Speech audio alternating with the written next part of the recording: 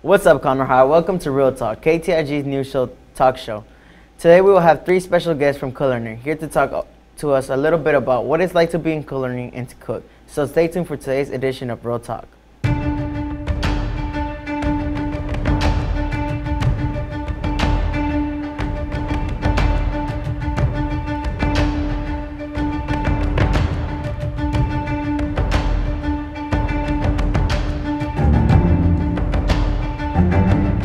Once again, today we would like to welcome our special guest panel. Let's start by first welcoming Chef Laux. Tell us a little bit about you and what you do here at CHS. Well, I started culinary arts many years ago, working in hotels, country clubs, restaurants through Woodlands, Houston. Uh, graduated from the University of Houston with a hotel restaurant management degree, and uh, came to Conroe High School last year, looking to make a difference in the area. All right. Sonny, we'd like to welcome you too. Tell us a little bit about you. Hey guys, my name is Sonny. I've been in culinary for about three years now. We went to some culinary competitions. This year I think I'm gonna do really good. Last but not least, we have Cage. Uh, my name is Cage Whitmire. I've been in culinary for about three years. I'm not really into the competitions or anything, but I'm just here to, you know, make sure I can live on my own one day and cook for myself. So now that you know who's here, let's start out with this. Uh, when did you discover your passion for cooking? Let's start off with Chef. So when I was a young boy, I would go to my grandmother's house and I'd watch her cook nonstop. She'd spend the whole day in the kitchen making meals for the family, and, and I would stay right by her and um, watch her cook and watch her clean up. Just the amazing magic that she could work on the stove is just caught my interest. I would say I was maybe five or six. Starting off young. Yeah. How about you, Cage? Uh, chef is really just showing me what cooking's all about and stuff. You know, you watch your parents cook growing up, don't think anything about it. But he's kind of showed me the more depths into it and the intricate like uh, details to it and how cool and you know artistic it can actually be. How about you, Sonny? I found my passion through my mom. She was she was always telling me I'm not gonna grow up and not know how to do anything for myself. So when I was doing it, she was like, "Oh, you gotta learn how to cook." So as soon as I can remember, she always had me in the kitchen helping her cook. Ever since like I don't even know how long since I was little she had me cooking. I remember cooking eggs like when I was like four, not, probably not four, like five or six. In there cooking, you know. All right, Cage. Let's start with this question. What is your favorite part about being in the kitchen? Being in the kitchen, just like the family atmosphere we have in there. It's always a good time. Um, there's never, you know, if you're having a bad day, you know, you can look forward to culinary. It's always laughs and uh, just a, a really good time in the kitchen for sure. How about you, Sonny? I just yeah, I love the atmosphere too. Like everybody's like family in there. Like you go in there, you have a good time. Everybody tries each other's foods. It's like, oh, this is good, this is good, and then like you compliment each other, like, oh, I like this and that, and then everyone knows each other. How about you, Chef? What's your what's your favorite I- part? for me, it's it's the light bulb moment for the students when when we've talked about something and we've looked at powerpoints and and these these students here have seen the same thing for maybe three years in a row, and it's finally that moment when they're in the kitchen and they're putting something together and they're like, oh, wow, I get it now, and that's my favorite part, hands down. Watching the kids really just understand it. All right. So now we'll continue with this. What's your favorite dish to make? Barbecue. Barbecue. Anything barbecue, smoked meats. If I can cook it on a barbecue pit, that's my favorite. How about you, Cage? Um, anything that's not sweets. We did sweets all last year, and so anything that's not sweets. I like making pastas, like lasagnas, spaghettis, raviolis. All right. Thank you so much, guys, for sharing. Next up, we'll talk about the hardest part of being in culinary right after this.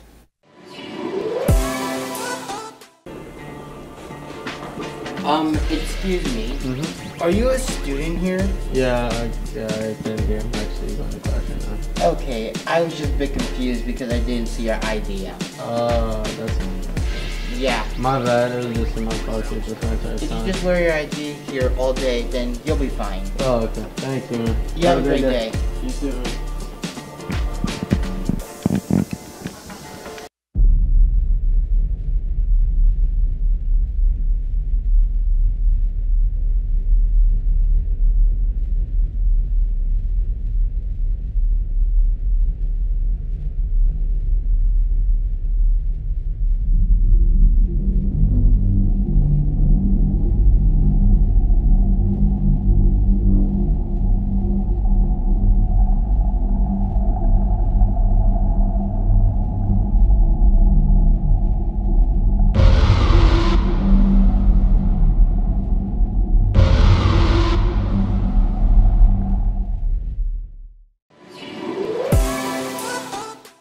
Welcome back, guys. Now we want to shift a little and talk about what is the hardest part of cooking. Well, in my opinion, I believe it's the consistency, like getting it right every time. Because you can't have one amazing dish and then come with another like bad dish. Like, it has to be the spot on every time. That's what I think is the hardest thing, is just getting it right. Chef? Um, for me, starting out in culinary, I think getting the flavor profiles correct. Every cuisine, every region of the world has a different flavor profile, and matching that flavor profile up with the outcome of the dish was the most difficult thing. How about you, Cage? Uh, probably the hardest part is when you're having to cook something that's over a couple days of prep and having the motivation to come in every day and keep building off of that one thing and not being able to eat it every, you know what I'm saying? That's probably the hardest part. All right, Cage. So we'll continue with you. What is the hardest dish you ever made, and how did it come out? The hardest dish I've ever made. Um, that's hard. Um, probably some of the pastas we've made. Some of the pastas we've made um, and the, the, the sauces that go in with them get very confusing. And I've, I've messed up a lot of times on pasta and sauces. So why is it hard? Um, you have to be so detailed with it, and you have to get every single thing right. And if it's not, it'll taste completely different than what it's supposed to, and it'll throw everything off. How about you, Sonny? Shoot, I'm about to say the pastas too, cause like, man, there's so many ways that you can get it wrong. Like, like if you mess up one thing, it'll come out like nasty, and then like if you do something wrong, like the pot will like start bubbling up. And it's just it's just bad It's bad. situation. It's It's, bad messy. Situation. bad. It's, It's really bad. messy, and I don't know, man. Like that's probably like one of the hardest. Like getting getting it right every time. Yeah. Alright. How about you, Chef? Personally, the hardest thing for me to do is decorate cakes. Oh my God, God. decorating. I, cakes. I, I can't do it. I mean, I can show the students how to do it, but when I do it, it looks like, you know, I hate to compare a kindergartner's coloring paper, but that's what it looks like for me on a It's, cake. it's it look, so hard. It's so bad. It's so bad. Literally, like you gotta be like so steady with it and everything. Like you gotta have a steady hand to be decorating Yeah. cakes, man. Yeah, you do, you do. I give them a tip of my hat. Anybody who can do to everyone that can do it perfectly, a tip of my hat. Do my- So, what is the hardest part of culinary class? Uh, let's start off with Cage. the hardest part of culinary class it, i mean it's really not a hard class or a more uh, much of a demanding class just you know he's not going to judge you if you make something terrible just try all you got to do is try put effort into the class and your grade will show whatever effort you put into it it's not a very hard one How about you, Sonny? I'm thinking the same way that Cage is thinking. Like chef's always gonna push you in the right direction, and he'll never be like, "Oh, this is bad," and he'll never make it hard on you. Like he'll just be like, he'll help you with what you need to know, and get you pointed where you want to go. So, Chef, you said you were t- you took culinary classes, right? Too. So, what was the hardest part for you during that time? Um, baking and pastries. I'm just, I'm not good at it. Uh, I think really more than anything is trying to remember like the sanitation and the safety things, That like the big- temperatures of food. You know, you got to cook a, a chicken breast to 165 degrees, Yeah. or it's undercooked, and you have the the risk of spreading pathogens like bacteria and viruses to other people just through the food.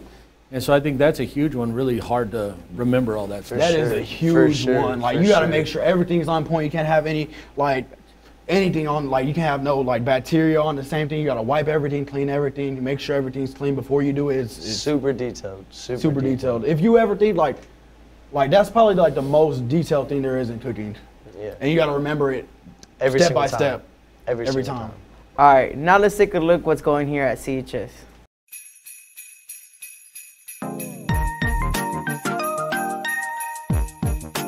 Attention juniors, on March 3rd, our campus will be offering SAT testing for juniors only. This SAT will not include the essay portion of the test. Please research ahead of time to find out if the college you plan to attend requires the essay portion. If so, you will need to take the SAT with an essay at another time. Registration is November 30th through December 11th at noon. Space is limited, and the best part is the cost of the test is free.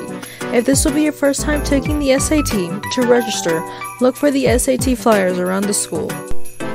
Attention National English Honor Society members. The NEHS Christmas party will be on Friday, December the 11th from 3 to 5 p.m. in rooms 258 and 259. We hope to see you all there. We wanted to say congrats to this week's Teacher of the Week, Mrs. Gillian Davis, a math teacher here at CHS. She was nominated by Caitlin Galica. Make sure to go to ktignews.com and click the Nominate Here button to nominate your favorite teacher. Rescue the Reindeer, Save the Snowman. Attention teachers, we have lost our student council reindeer and snowman and are offering a reward for them to be found. If you find the reindeer or snowman in your room, bring it to room 1027 and claim your reward. The Paw Print will be selling candy cane grams for $1 on Mondays, Wednesdays, and Fridays through December 11th. They will also have holiday goodie bags for $5 along with new crew necks, long sleeve tees, and a special Conroe High Christmas shirt. Stop by during your lunch on white days to get your merch before it's sold out.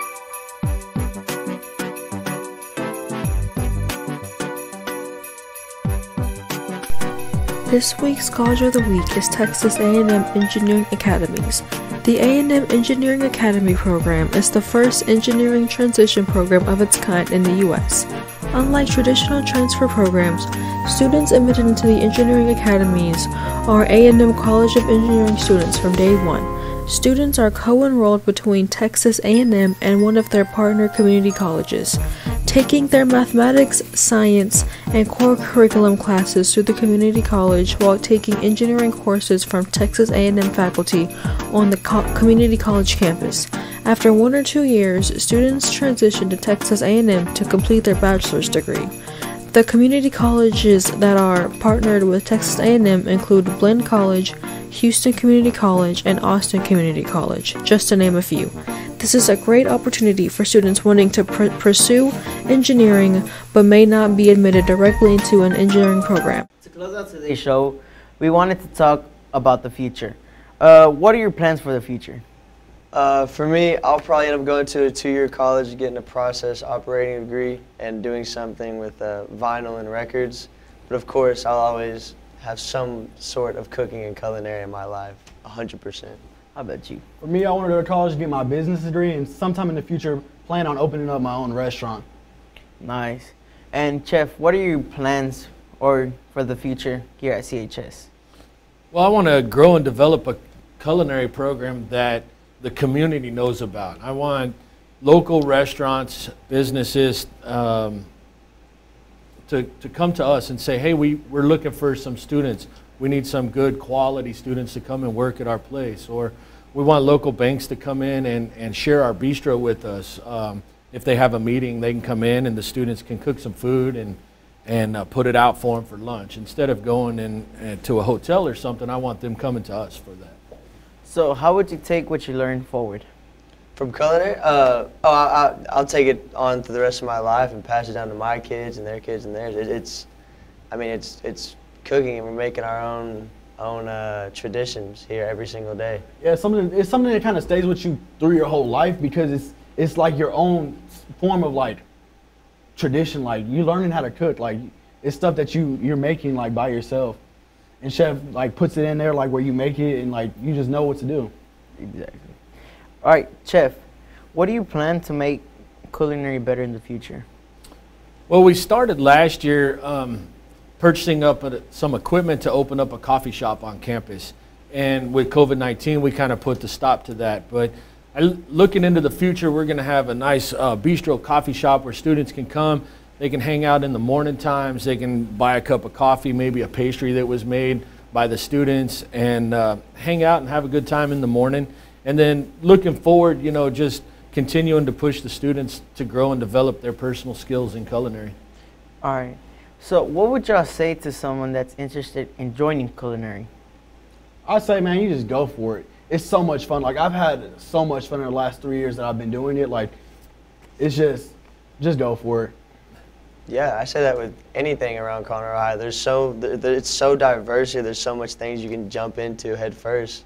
I say go for it, a thousand percent. Yeah, go for and it. chef will be open arms, happy to take you in. Might as I well do it promise while you. you're in high school. Might as well do it.